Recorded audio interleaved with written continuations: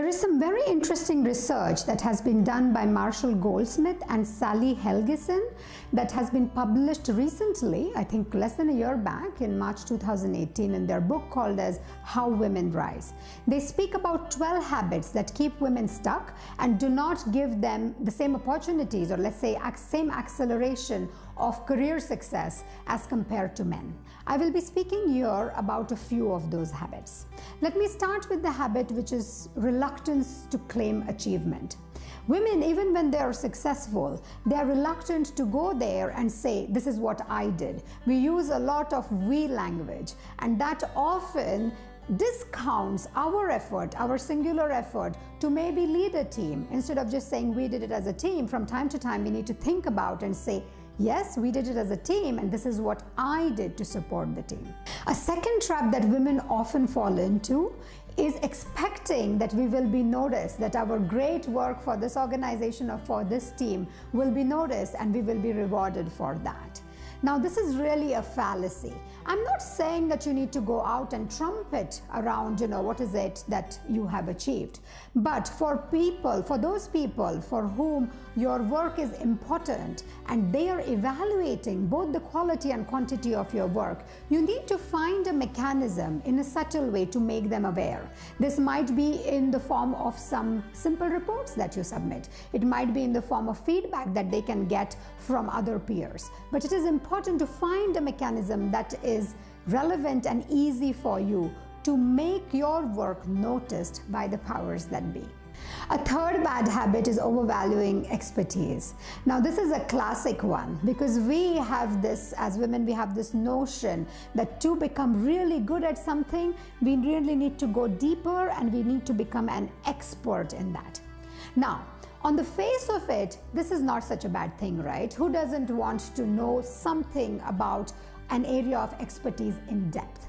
You know what the challenge with that is? When you become such an expert in such a narrow field, it's difficult for you to have a generic view on multiple skill sets. Now, what happens typically when people are promoted? When you're promoted from an individual to a manager, from an individual contributor to a manager, it's usually somebody who knows enough about each of the different skill sets. So, if you remain in one area, narrow area of expertise, the chances are higher that you will get stuck there. A habit that keeps women stuck is not to know how to leverage relationships. You know, as women, we have this natural capacity to develop relationships. I know so many of my friends who decided to move, let's say, from a corporate life to an entrepreneurial life. And now for their business, they have a very nice network, but they don't know how to leverage it, how to convert those conversations from being a conversation between friends to now moving it to say, okay, but this is the business imperative, and how can this friend or somebody in your network help you with your business? So think not just about how to develop relationships, but find ways in which you can leverage those relationships for your benefit and for the benefit of your business. Another habit that we need to overcome is to put our jobs before our careers. Now, what do I mean by that?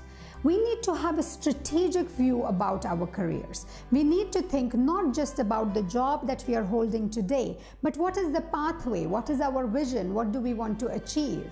And we need to ensure that we put enough effort in, of course, the existing job, but we should always have our vision, our eye on the next goal and the next step in our career. Now we speak about something that probably is very familiar to you. It's called as the disease to please. I can see a few of you smiling there, isn't it? It's something that a lot of us identify so easily with. We want to be liked by people. Now, again, on the surface of it, being liked by people is not such a bad thing.